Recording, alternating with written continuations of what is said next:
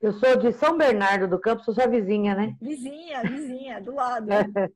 É, eu estou há pouco tempo aqui, eu estou acho que três anos aqui em São Bernardo. Eu trabalho em São Bernardo numa empresa de tratamento de água e esgoto. É, eu trabalho com licitação, acho que minha vida inteira, né? Desde os meus 14 anos. Aqui, ó, que eu, oh. que eu resgatei aqui para você ver. Ah, o certificado do curso presencial? É, Dá para ver? Dá, ele tá ao contrário, mas eu tô vendo que é do curso presencial. Ah, é, tá ao contrário por causa é da, da câmera. É, é 2000, 2007, ó. 2007, 2007. Nossa, que legal! Participou pela oito, em São Paulo. Oito módulos. Ricardo e Luciana os professores. Ah, o curso completo de licitações presenciais. Foi. Que legal, que legal, Foi. Adriana. Já é da casa, então. Já, há muito tempo. E eu trabalho com licitação a minha vida inteira. Tenho 45 anos, mas desde o... eu entrei na empresa como recepcionista, enfim. Aí fui mudando de empresa, mas o mesmo segmento, mesmo segmento, mudei de empresa. Fiquei muitos anos em várias empresas, né? Que bom. E é isso que eu faço. Aí eu tenho essas dúvidas aí que eu te mandei. Claro. Eu nunca trabalhei com microempresa, então eu acho interessante eu saber também, né? Claro, um com certeza. Disso. Com certeza, Adriana. Perfeito, Adriana. Então, é, é, garanto que você já ganhou muita licitação, né? Muita. Muita. Tem ideia do valor aproximado do montante das licitações? Eu vou te falar, eu vou te falar de um ano bom, assim, mas muito bom. Só que eu não ganho comissão, tá? Eu, eu, eu sou né? é, é, é, funcionária da empresa, SLT. SLT. É, numa outra empresa que eu trabalhei, nessa também, a gente. Nessa nem tanto. Mas um ano já, dá, já deu para fazer 40 milhões. 40 milhões. Em licitação. 40 milhões em um ano. Parabéns, Dá. Adriana. Olha Dá. só. Né? Eu falei pro, na ocasião, desculpe, eu falei pro que ele acabou ficando sem certidão, essa empresa que eu trabalhava. E aí eu fiz um, uma carta de todas, todas as, as, licitações que a gente deixou de, de participar, né? Aí eu falei para ele, pelo menos 20% dessas licitações a gente tinha ganhado. Num determinado tempo que eu não vou lembrar agora. Aí ainda tirou sal da minha cara, por quê? Expertise, não sei o quê. Eu falei assim, peraí. Peguei do ano passado, deu 21%. Falei, tá vendo? Porque a gente faz um comparativo, né? Sim, sim. Tem, que, tem, tem métrica, né, pra gente medir aí como que tá indo. É. Então, uhum, uhum. parabéns, Adriana. 40 Obrigada. em um ano. Em um ano. É, isso, não tem, isso numa época muito boa. Sim. Hoje em dia está muito complicado, né? O, o, o que o meu ramo, ele, na verdade, a matéria-prima subiu muito, então tem o preço defasado, né, da, do referencial. Então aí a gente prefere ficar sem vender do que perder dinheiro, óbvio, né?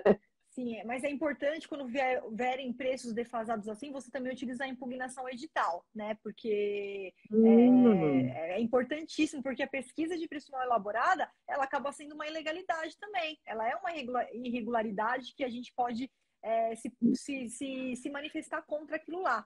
Mas mesmo sendo atípico, né, por conta da pandemia e tal, né, porque, na verdade, o, assim, a matéria-prima que é. fez um tibum, né? Mas mesmo assim, porque o órgão ele é obrigado a fazer essa, essa atualização, porque às vezes a gente tem assim uma pesquisa de, de, de mercado, que se a gente for seguir a instrução normativa número 73 de 2020, que hoje é a que regulamenta a pesquisa, é, tem ali um prazo ali que eles colocam como um prazo razoável, mas em tempos normais, né? Então, uhum. às vezes, é, numa situação é, atípica, talvez dois meses já, já, já, já seja um prazo que, que defasou. Então, sempre, se você tiver acesso ali ao valor estimativo, é, você pode utilizar sim a impugnação para mostrar para o órgão que aqueles preços já não são mais válidos e que ele precisaria fazer uma é, é, atualização da pesquisa para que o pregoeiro possa julgar da forma certa no momento que ele vai fazer o julgamento da licitação, né? Então ele tem o parâmetro mudar, muda-se os parâmetros ali e isso pode ser feito, sim, deve ter, ser feita essa impugnação,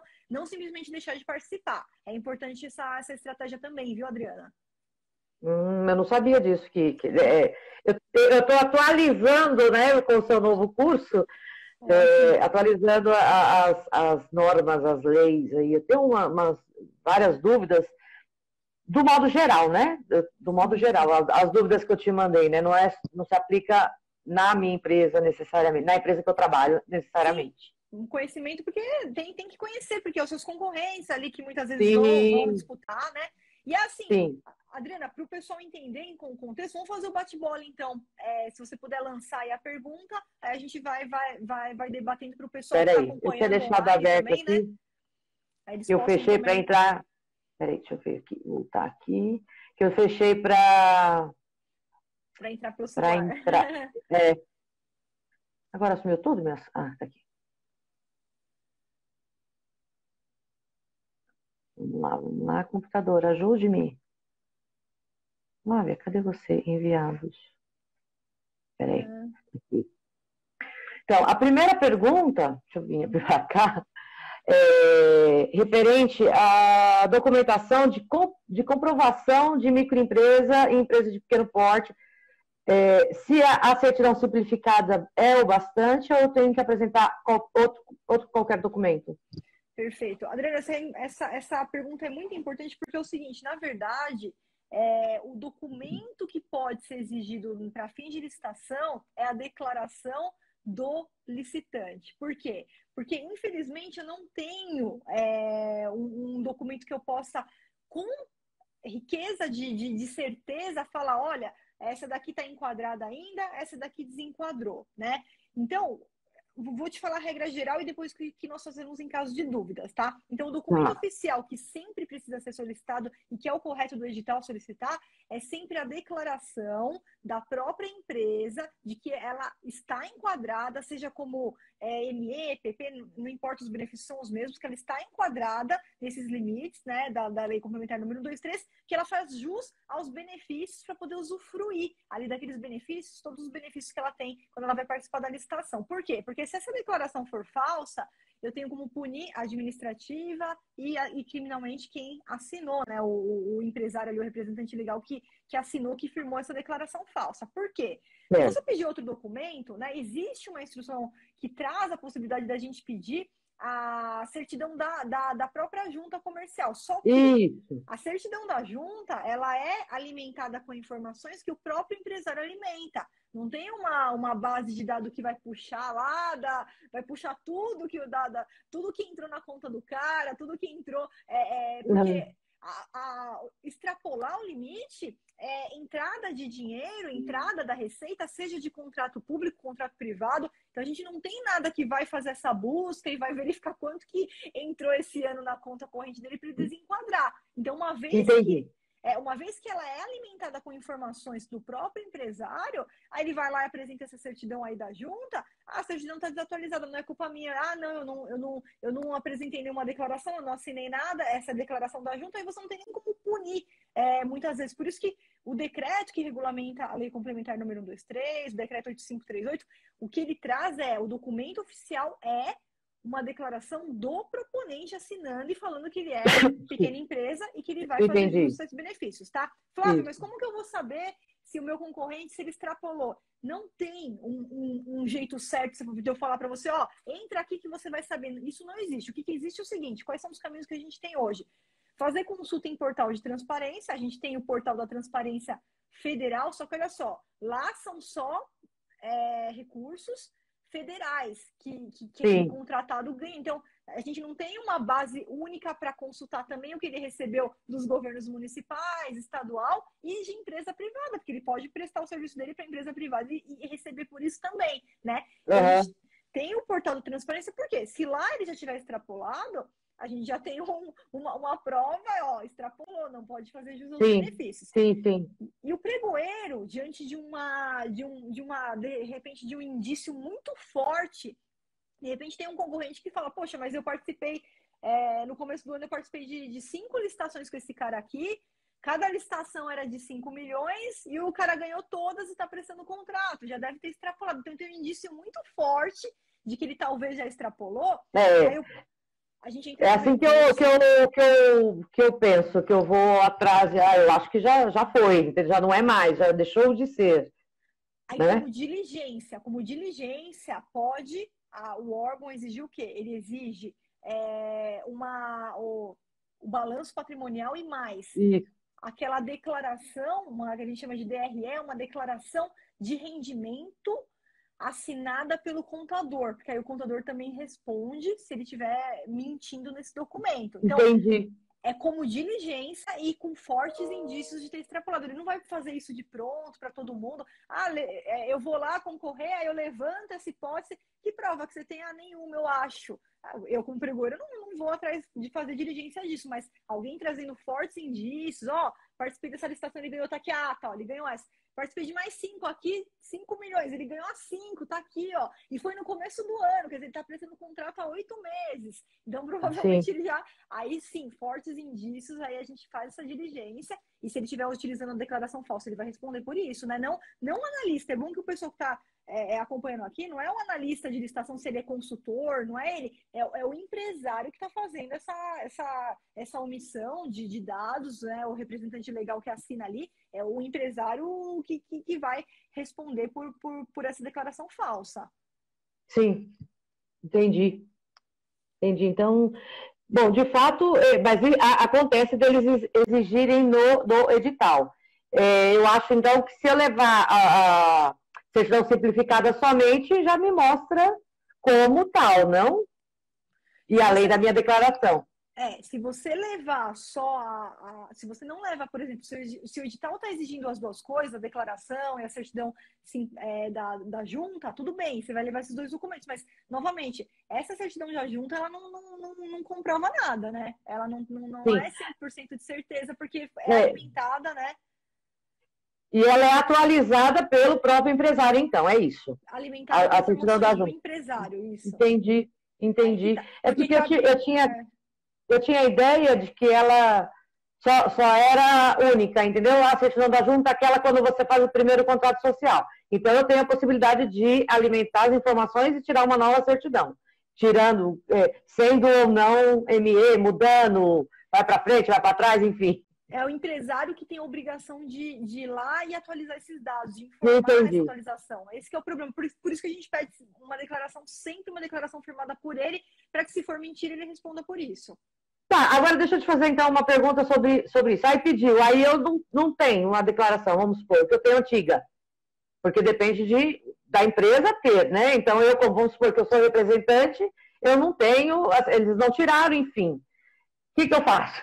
da minha vida. Eu falo, não, está aqui a certidão certificada, está aqui a minha declaração de próprio punho, enfim. Não, a declaração, se ele pedir, você é obrigado a entregar, senão ele... Não, não, eu estou dizendo a, a da junta. Declaração Isso, da então, junta. Então, a da, então, a da junta, Adriana, por si só, é, eu já entendo como uma, uma, irregularidade essa exigência, tá? Se você não tiver, é um ponto que a gente pode impugnar, porque na legislação não tem a, a, a, a possibilidade da gente exigir a declaração simplificada da junta. Eu sei que muitos editais exigem, mas é um ponto que pode ser, pode ser impugnado do, do, do edital, entendeu? Porque é uma Entendi. declaração que não está lá no rol de, da, das legislações, né? O que a gente tem, essa, essa declaração, claro, é uma instrução que traz, é, é óbvio, se você não impugnar e chegar no momento que você está sem o documento, você vai ter problema é, de, de não de ser eliminado, mas participa da licitação como sendo uma grande empresa. É isso que eles vão fazer. Entendi. Você vai participar entendi. sem os benefícios. Né? Entendi. Então, é esse problema que você vai ter se você não cumprir os requisitos é, é. no edital quanto é, a, é a, lei. É o que acontece, não, às, às, vezes os documentos não, não estão no, no, no rol da lei e a gente acaba é, dando um jeito de apresentá-los para não ter problema, né? para não brigar. Isso, mas o, o, correto é fazer a impugnação. É, mais uma vez eu briguei por alvará, pedindo alvará. Eu falei, não, meu amigo, eu não tenho que te dar alvará. Isso. Desculpe, senhor pregoeiro, mas eu não tenho que te dar o alvará. Aí, enfim, aí ele bateu o pé, bateu o pé, eu falei assim, então tá bom. Eu sei que eu, eu, eu não tinha o alvará ainda da empresa, porque ela estava legalizando o CETESB, essas coisas, enfim, né? Uhum. Mas a empresa tinha um contrato de aluguel, enfim, né? Eu falei assim, eu sei que também não tem empresa, e se aparecer aí com alvará, aí a coisa vai ficar bonita. Aí tirou o alvará. Eles mudaram o edital, né? Aí mudaram o edital. É isso aí. É isso daí mesmo. Não, não. Enfim. Bom, entendido. Vamos para a próxima. Ah, a, referente à ME ainda sobre balanço, quando do Simples Nacional, é, quando é registrado em cartório, a exigência de registro em cartório e quando é registro na JUSESP. No caso aqui, né, na junta, né? no nosso caso, em São Paulo, é Jusesp. Então, Adriana, a gente segue a mesma ordem é, do registro do contrato social, porque a gente tem sociedades empresárias e aquelas sociedades não empresárias que são as sociedades simples, né? Então, quando a gente Sim. fala de sociedade empresária, que é a sociedade que ela, ela, ela é, tem os requisitos lá do direito comercial, quer dizer, ela, ela é toda formatada para operacionalizar o comércio ou prestação de serviços. Então, quando a gente tem uma empresa que, é, que ela, ela desenvolve a atividade empresarial, a gente faz a registro, a, a, o registro na junta, tanto do, do contrato social quanto do, quanto do, do balanço. Né?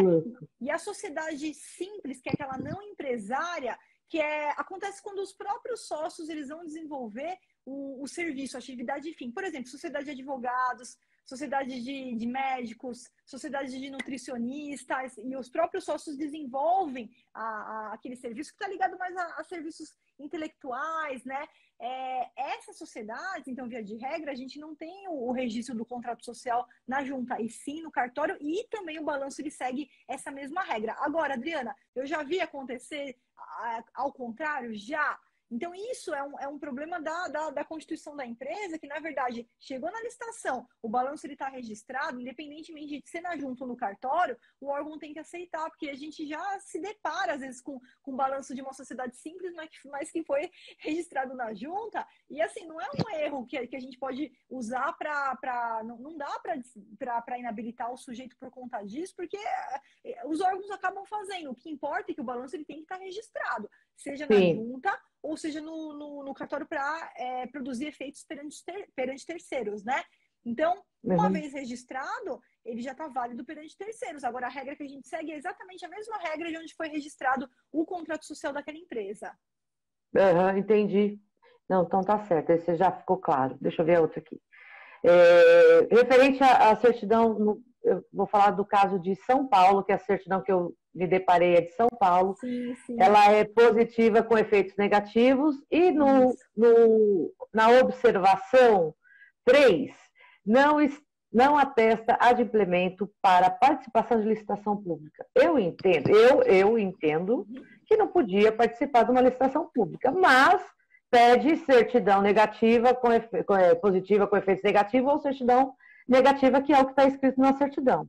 O que, que, quer dizer isso? Vamos lá, essa pergunta é bem interessante. É, a, a, legislação, a Lei 866, quando ela vai tratar dessa parte, né, que seria, seria para quem está acompanhando aqui, para quem ainda não trabalha muito bem, a gente tem uma documentação que a gente junta, né, e são esses documentos que nós chamamos de é, habilitação fiscal, tá? Então, é, é para verificar se aquela empresa ela está com algum débito perante o governo, né? Seja o governo é, estadual, o governo federal, o governo municipal, onde ela tem ali a sua sede. Agora, o que, que a, legislação traz, Adriana? Ela traz o seguinte, ó, exige-se regularidade e não quitação. Essa é uma diferença fundamental e por isso que essa certidão é aceita. Por quê? Se o legislador fala o seguinte, ó, é exigido quitação, quer dizer, você não pode dever de jeito nenhum, nem para o governo federal, nem para o estadual, nem para o municipal.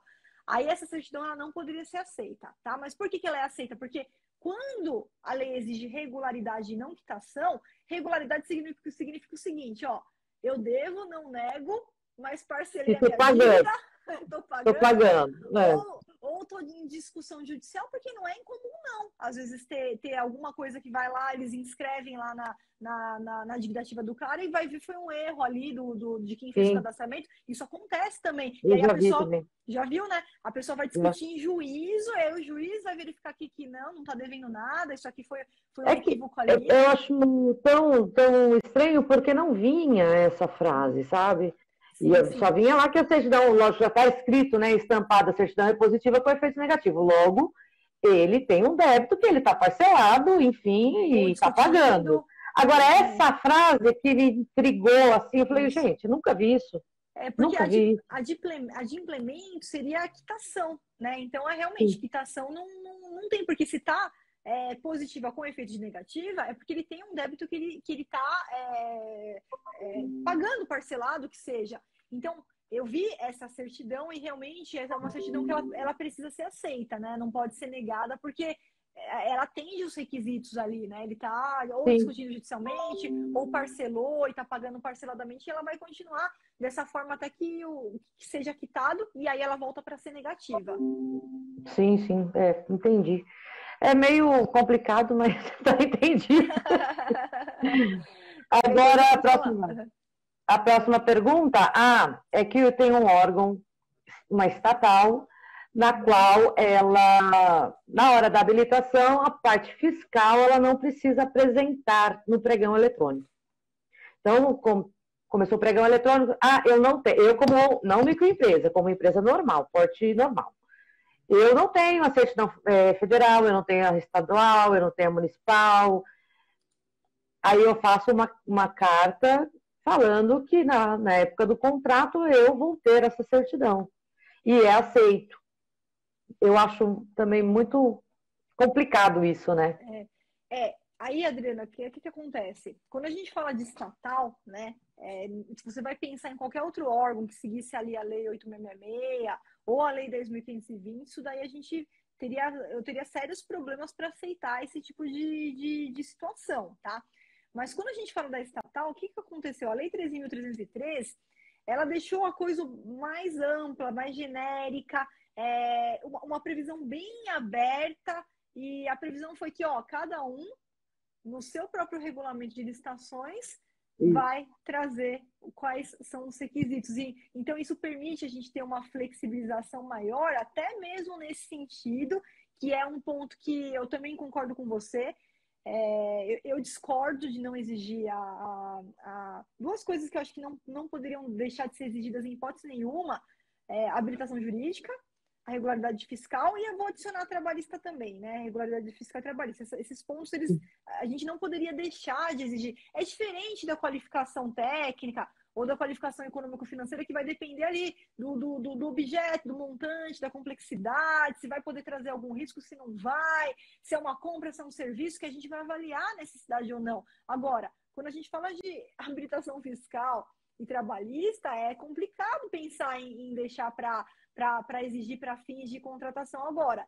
Existe esse posicionamento nas estatais? É, sim. Então, algumas estatais, aí vai depender do, do regulamento da estatal, o que foi previsto no regulamento da estatal, e se ela tiver esse tipo de flexibilidade para exigir lá para fins de contratação, aí acaba seguindo essa regra é, naquelas licitações. É estranho, é, né?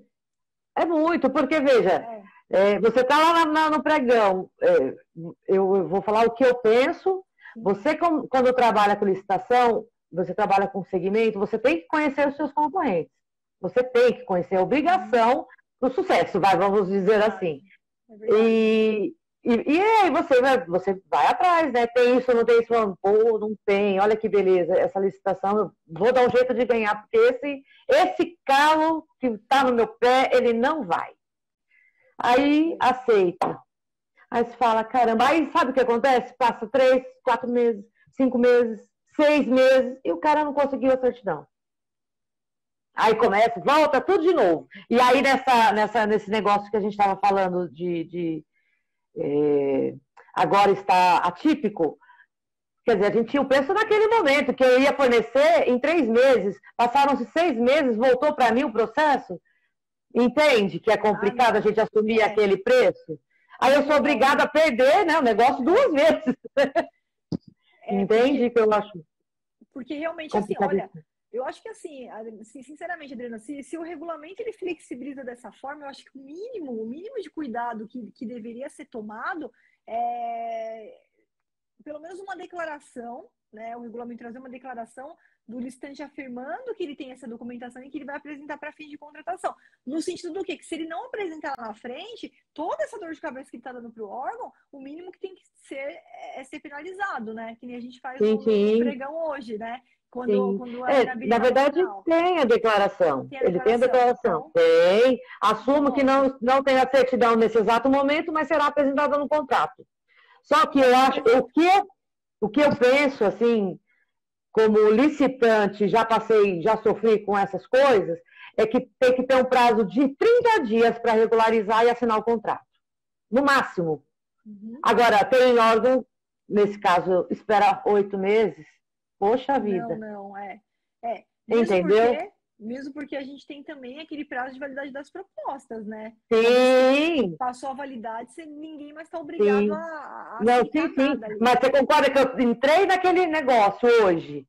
Nossa, eu quero ganhar esse negócio hoje. Baixa, baixa, baixa aqui, baixa ali, baixa ali. Perdi. Não vou baixar mais. O cara levou. O cara não tem. Apresentou a declaração que não tem, que vai apresentar no contrato. Passou um mês. Não assinou, voltou para mim. Ok, agora eu vou com o meu preço em segundo lugar. Eu vou conseguir fechar o negócio. O cara passou oito, seis, oito meses. Aí é um não existe. Do, é uma, uma inércia do, do órgão, né? Proceder Mesmo que a proposta valesse, valesse é. 90 dias, ainda ok, né? Mas é muito tempo.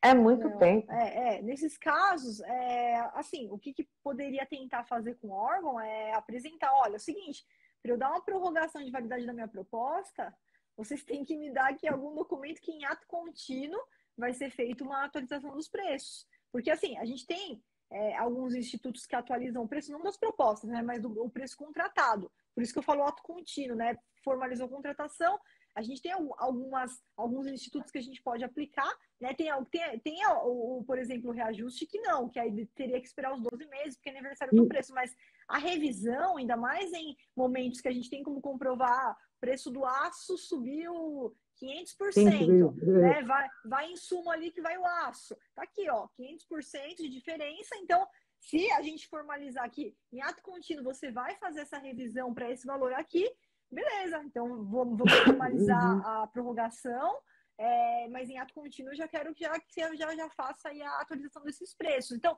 é. isso seria algo que o órgão ele poderia é, é fazer, mas é difícil, né? Geralmente ele Então, na verdade, esse órgão, pelo que eu entendi, ele aplica, né? Ele aplica esse, esse também, né? reajuste né? no referencial. Mas tem casos, tem outros órgãos que eu já, já, a gente já viveu, acabou ali em fevereiro, quando foi em dezembro, chamou a gente porque o cara não assumiu o contrato, não assinou nem o contrato. É muito tempo. É muito tempo. É, aí a única hipótese de assumir é eles já, você já, já, já dando os preços atualizados e eles se, se comprometendo a já formalizou o contínuo, já faz ali na hora mesmo já é, é a, a, a, revisão contratual com os preços atualizados, para você. Partir dali, mas com os preços devidamente atualizados e, e sem ter nenhum prejuízo. Se ele falar que não vai fazer a revisão do contínuo, não, então não me interessa, não vou prorrogar minha proposta, sinto muito. É. É, é. é, mas é, dá uma tristeza, né? Dá uma dó é perder o negócio por conta dessas coisas.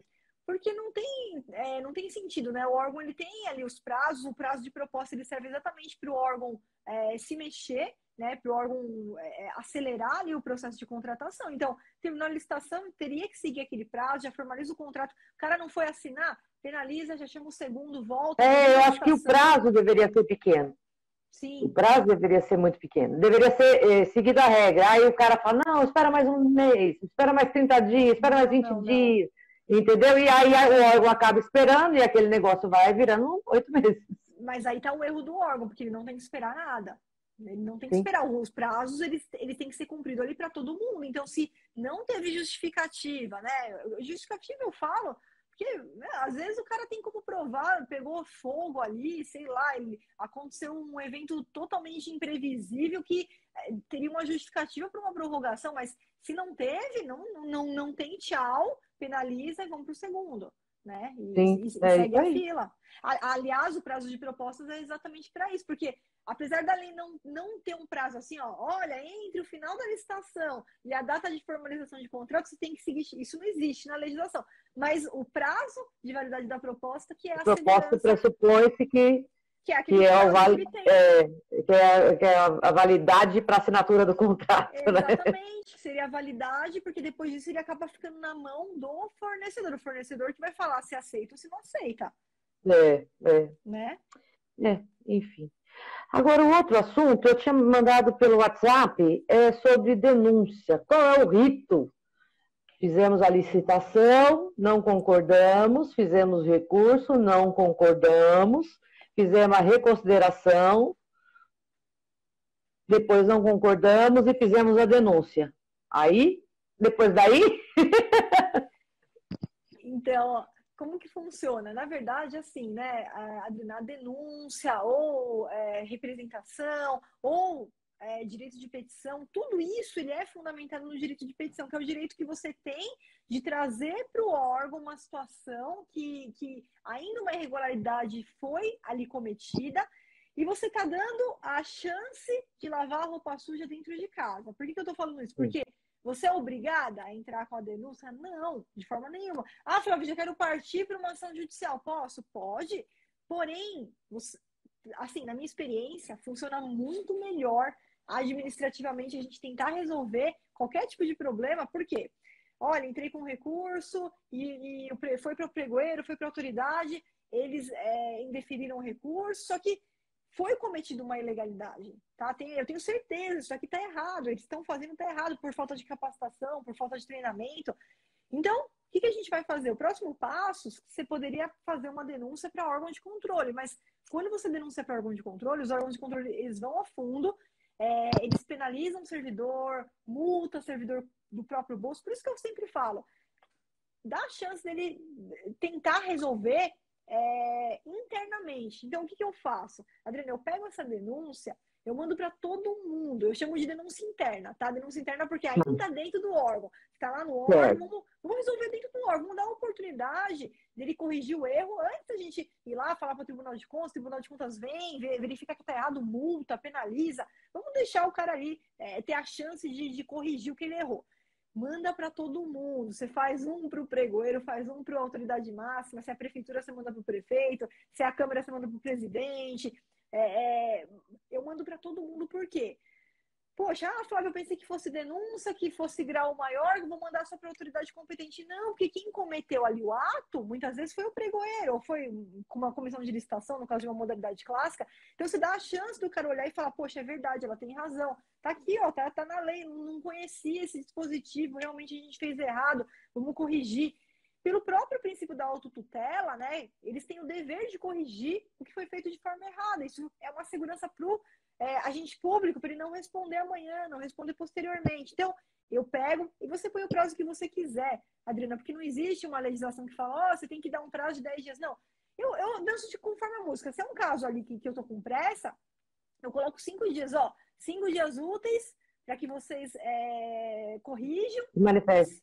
É, se, se, se não for corrigido, já estou avisando aqui que a minha próxima etapa eu vou fazer uma denúncia para os órgãos de controle e, se for necessário, judicialmente. Eu falo isso, mas eu nunca entro judicialmente. Minha vida inteira eu precisei de uma ação judicial só. O resto a gente resolveu tudo administrativamente. Mas eu vou te falar que todos os mandados de segurança que eu entrei não resolveu nada. Nenhum. É isso que eu tô falando. É isso que eu tô falando. Porque... Nenhum. É. Só gastamos dinheiro. Olha, olha, Adriana, que bom que você está falando isso, porque eu não posso falar isso, não o pessoal me xinga aqui, mas é, infelizmente, quando a gente fala de licitação, é um assunto muito específico. Os juízes, é, e eu não estou aqui me, me, falando isso porque eu me julgo melhor que ninguém, longe disso, mas os juízes eles não têm é, é habilidade ali com a, muito com a parte de licitação. Então, quando cai um negócio de licitação ali na mão deles, por mais que ele vai lá, vamos pegar o livro aqui, vamos ver, é muito difícil porque ele não tem a, pra, a vivência ali naquele ramo. Então, para ele tomar uma decisão é, equivocada, é mais fácil. Por isso que eu te falo, administrativamente a coisa flui muito melhor. Os tribunais de contas, eles são órgãos especializados em licitações. Você pega ali um acórdão para ler do Tribunal de Contas, é uma aula, é uma aula. Então, Sim. são pessoas muito competentes, os ministros que estão ali, porque eles estão ali, ó, a vivência deles, eles julgam contas todo santo dia, eles estão julgando um problema numa licitação, numa contratação. Então vamos lá, Entendi. pega essa denúncia, manda internamente, tá? Pega o modelo lá que a gente tem no curso, pega aquele modelinho, tá aqui, ó, que já tá tudo estruturado, ó. Ou você faz isso, eu vou te denunciar para o Tribunal de Contas respectivo, para o Ministério Público, tal, tal, tal dá o prazo, espera responder. Normalmente já funciona, normalmente já funciona essa primeira, já, cara já, não, mas é realmente está errado, a gente vai reformular. Se não funcionar. Mas nesse caso específico não aconteceu. Qual que é o tribunal. Então, tribunal, vai direto para o tribunal, Entendi. manda. Ó, o tribunal, apesar dele não ter um prazo para responder, por experiência própria, eles trabalham de uma forma muito, é, é, nossa, uma forma sabe, com gosto, assim, com, com, com, rapidez. É claro, tem, tem, cada tribunal tem um, uma sistemática. Por exemplo, o Tribunal de Contas da União trabalha muito rápido. O Tribunal de Contas aqui de São Paulo trabalha muito rápido também. Ele é muito rápido, muito eficiente. É, o TCE, ele aderiu, inclusive, a, a, aos modelos de denúncia online. Eu até gravei uma denúncia que eu fiz passo a passo, coloquei lá no, no curso para vocês verem, contra um órgão, fui fazendo todo passo a passo online, não precisa mais ficar mandando. Antes eu mandava por motoboy, é, o motoboy entregava lá para mim, né, me trazia o protocolo. Agora não, agora Sim. online a gente já consegue fazer, porque aí eles vão atrás, aí eles vão atrás, entram em contato direto com, com o órgão e pela internet a gente vai acompanhando tudo. Antigamente, que não tinha online, eles me mandavam uma cópia do processo de tudo que eles tinham feito. Depois que eles julgavam, eles me ligavam, eles ligam, ó, recebemos, já estamos dando, dando andamento, início aqui, TCE aqui de São Paulo. E assim que terminava ali, eles me mandavam uma cópia. Teve um caso que o o ordenador de despesa ele foi multado, uma multa lá de 5 mil reais, o ordenador de despesa do servidor do órgão teve que pagar Sim. no bolso. Eles mandam tudo, tudo, tudo escrito. Tem até aqui, é, é antigo isso daí. Agora online. Online você vai acompanhando cada passo do processo, não precisa ser advogado nada disso, tá? Eu, Entendi. Eu, eu fiz uma vez, há muito tempo atrás, só que eu não obtive esse, esse respaldo, essa resposta que você teve, né? Talvez que eu não sei lá se eu fiz certo, né? Não sei se eu. Enfim, é. mas eu não tive, não.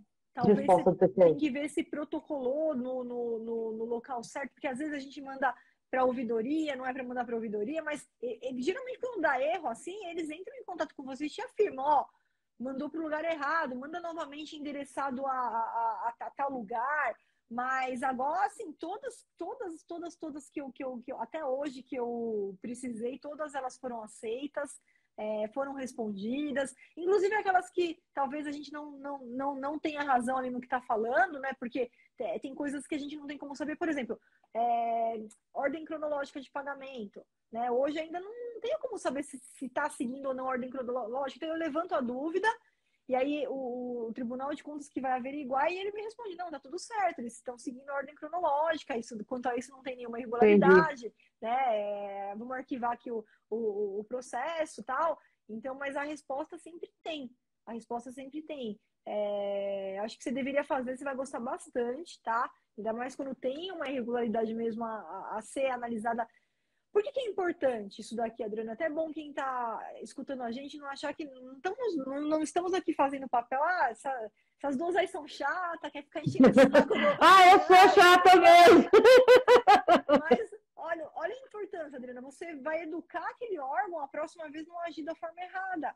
Porque enquanto é, ninguém fez uma denúncia, ninguém, ninguém faz nada. Né? Orelha, né? Acham que eles estão fazendo do jeito certo, às vezes não é por má fé nada disso. Ah, sempre foi feito assim. Eu dou muito curso para servidor e às vezes eles fazem a coisa errada ali no mesmo órgão há 10 anos fazendo a coisa errada. Aí quando eu falo que tá errado, eles falam assim: não, mas aqui a gente sempre fez assim e nunca ninguém falou nada. Mas, mas tá errado. Mas é mais ou menos isso. É mais ou menos isso é. que acontece. É, vai, vai, vai, né? Vamos, vamos indo, né? Vamos, vamos levando, né? Aí, uma hora vai dar errado. Eu acho que uma hora não. É. Mas quando Enfim. a gente denuncia para o Tribunal de Contas, como que eles costumam assim é, agir? Ah, Flávio, ele já vai multar direto? Não. O Tribunal de Contas ele sempre tem um, um, parâmetro que primeiro ele, ele avisa, sabe? Aquele aviso da mãe, ó, oh, não faz se fizer isso de novo, vou te bater. Então ele dá um aviso. Uhum. Ó, oh, não repete Entendi. esse erro, tá errado, faz desse jeito, tal, tal, tal. Se o órgão vai lá e repete novamente o mesmo erro, aí nessa segunda já, já vem uma multa pro servidor, tá? Então é, eles ficam mais é, é, eles vão ser educados a, a, ser, a, fazer a coisa ali do jeito certo. Por isso que é tão importante a gente. Mas é tão bom encontrar, né, uma, pessoas que fazem certo, né? Nossa, é uma delícia. Você encontrar Sim, comissões honestas, faz tudo direitinho, não aceita o que está errado. Nossa, eu acho bárbaro. Foram poucas as é. que eu é. conheci, viu? De verdade. Porque Mas muita é, gente, a gente, a gente tem problema é falta de capacitação, viu, Adriana? Ainda no, é. no, no, setor público, ainda você se depara aí, é, é, direito do servidor, ele tem direito à capacitação, então tem, tem órgãos aí, tem muitos órgãos, até viu, o professor André entrou aqui, o professor André ele foi aluno meu, hoje ele é professor, tá? É, ele é de São Luís do Maranhão, um dos poucos órgãos que eu conheci que não, não abre mão assim de, de, capacitação, tá? Toda capacitação que o pessoal quer, eles vão lá, capacitam e eles atuam ali muito bem, né? Uma atuação Sim. ali que é invejável mesmo, né? Na linha ali, tudo certinho. É, é super importante. É. Tem, tem comissão de licitação que não sabe reconhecer um documento. Sim. De verdade, eu já vi. Eu já vi. Tem, tem erros em nossa, é, todo dia assim se encontra ali erros por falta novamente falta de capacitação, mas é, é, é, por isso que é importante, ó, use, utiliza a impugnação quando você encontrar erro no edital, mesmo nesse erro aí que a gente falou no começo da live, aí do, do de, de, valores, utiliza, né, recursos, você já utiliza bastante, mas utiliza também as denúncias, é importante tanto a interna quanto a externa. Você vai ver que, que, que a, a coisa começa a mudar, o órgão começa a fazer do jeito certo, às vezes é, a gente acha que eles não estão ali dispostos a ouvir. Mas você vai ver que no final eles vão te agradecer, porque. Sim, mas tem, do, tem dois, dois, dois, tipos, né? Tem gente que. Aliás, três. Tem aquele servidor, eu estou falando que eu já encontrei, tá? Sim, sim. Aquele servidor que se acha o máximo. Tem aquele que. Aquela comissão, tá? Do modo geral, a comissão. Não estou falando só do, de uma pessoa, não. É aquele que não sabe, não sabe mesmo, é inocente, e aquele que é sacana, entendeu? São esses três tipos. Teve uma ocasião, ó, pra você ter uma ideia. Eu, eu acho que o cara não era mesmo desonesto, não, de verdade. Ele começou a gritar comigo, falando que eu estava atrapalhando o processo, porque eu queria diligência dos atestados. Ele gritava comigo, o, o presidente. Eu falei, ah, desculpa, mas eu estou no meu direito, eu quero. Sim. Eu quero já, já vivi situações com esse concorrente dessa forma, então eu quero. Mas foi um horror. Um horror. É. Aí, o que, que aconteceu? Essa eu preciso contar para todo mundo. O que aconteceu passado? Se o STEP assinou o contrato, não ganha a licitação, assinou o contrato, enfim. Passaram-se uns seis meses. Eu me deparei com esse mesmo concorrente com o mesmo atestado, só que daí era diferente os, os valores, sabe? Os números de tamanho. O mesmo atestado. Aí eu liguei pro pregoeiro, eu falei assim, ah, deixa eu te falar uma coisa. Esse atestado aí era falso, tá? Você não deixou? Porque ele fez aquela diligência de pedir nota fiscal e, e contrato. Não vai a loco, né? Eles não vão, né, em loco ver. E aí era falso. Ele falou, é bem que você avisou mesmo. Eu falei, é, pois é, paciência, né? Já foi. Já perdi, já foi. Até me falaram, aí mudou é, o prefeito e tal, né? Por causa das eleições, mudou a comissão falaram que eu podia pedir para rever, porque ele me prejudicou, né? Sim. Com esse ainda, mais quando a gente fala de, de, documento falso, né?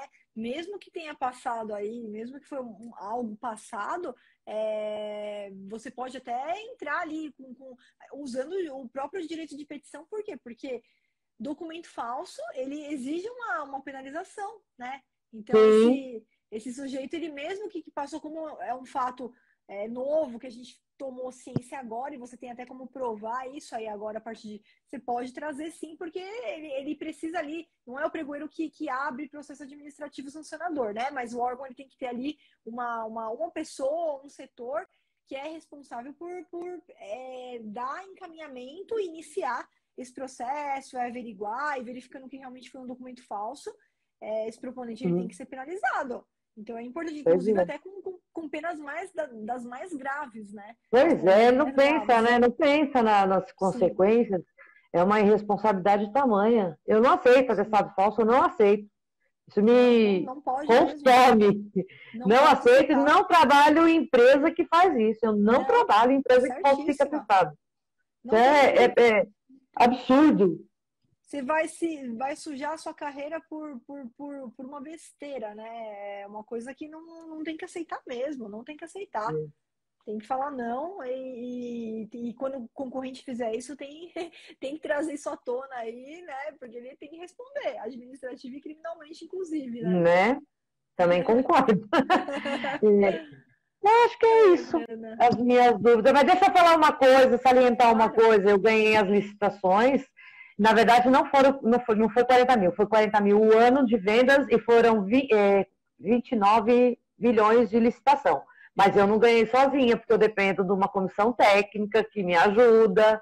Então, assim, certo. assim, para deixar claro que não fui sozinha que ganhei, né? Porque a gente claro. trabalha com com coisas grandes, né? Equipamentos Sim. mecânicos, então não adianta eu também saber a lei, cada um faz a sua parte, né? Claro. Eu, eu preciso deles para a parte técnica. Não, mas você também, se não fosse também a sua expertise aí, provavelmente essa vitória não teria, Sim. né? Não, não, não, teria aí essa vitória. Não, eu só quero é. É, deixar claro que não foi sozinha, né? Claro, Tem os dois lados.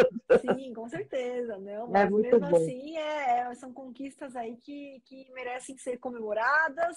É, parabéns aí pelo resultado, viu? Obrigada. Muito produtiva, muito produtiva mesmo, Adriana. Parabéns aí pela, pela qualidade das perguntas. O pessoal gostou muito, teve vários elogios aí é, hoje, então tenho certeza que foi uma live muito produtiva aí também para o pessoal que acompanhou. E, novamente, um prazer enorme falar aqui com prazer você. Prazer é meu. Prazer é meu, estou no curso. É, eu estou refazendo o curso, né? Porque ah, tudo Ótimo. muda, né? Isso, é, e, a, e a empresa, ela, ela quer os seus funcionários qualificados e, e eles falam, não, você vai fazer. Perfeito. E aí, estou fazendo novamente. Perfeito, perfeito, Adriana. Vamos, vamos aqui do lado, depois que passar essa pandemia aí, quem sabe a gente não toma um café, né? Minha vizinha. Ah, vai ser ótimo. Vai ser ótimo te conhecer pessoalmente. Mas é um prazer falar com você. Prazer é meu, Adriana. Olha, tudo de bom para você, viu? Um grande abraço, um grande beijo aí e a gente continua se falando aí dentro da plataforma, tá? Vai me mandando tá notícias bom. lá. Tá bom, obrigada, Flávia. Eu que agradeço. Um grande beijo. Um beijo, até mais, boa noite. Tchau, tchau. Boa noite, tchau. Tchau, tchau.